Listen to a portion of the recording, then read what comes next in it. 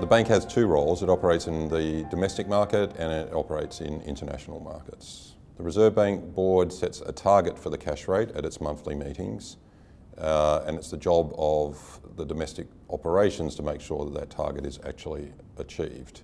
It does that by adjusting the supply of funds in the interbank market uh, so that the banks have an incentive to lend that money between themselves at the cash rate. So we control the supply, they have the demand, and the net outcome of that is the price. So to adjust the supply of liquidity in the market, the bank operates in the market by either buying and selling securities, which is the stuff you read about in textbooks, but mostly what we do is actually something called a repo, which is we lend or borrow money uh, from the banking system against collateral, normally uh, a government security, but also bank paper as well.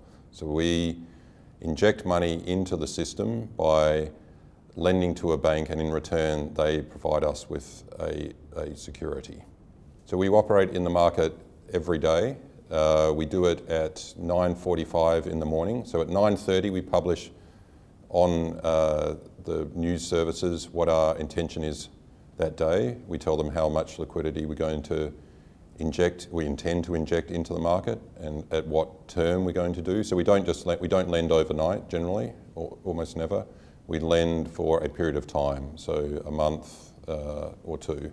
The banks or any other uh, participants have the, uh, can bring us back with uh, their bids by 9.45 each day. It's an auction, so whoever gives us the best or offers us the best price is the one we accept. Um, normally we accept multiple bids. We also do, since last November, a second round of open market operations, uh, potentially each day at around about um, uh, 10 past five in the day, um, about one in every two or three days to make, because with the move to fast settlements now, uh, there's a requirement that we, that the liquidity position in the market at the end of the day is right where we want it to be. Because we operate in the market every day, we get to assess the demand of uh, uh, counterparties for liquidity. So as I said, we control the supply, they have the demand.